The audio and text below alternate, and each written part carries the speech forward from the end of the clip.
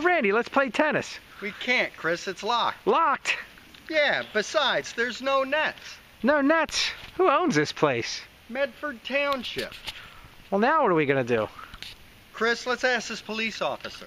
Police officer? Where? Right there, Chris. Where? Right there. We paid $52,000 to pave this tennis court. The same night we laid off police officers. $52,000? Fire police officers? Randy, I think it's time for a change.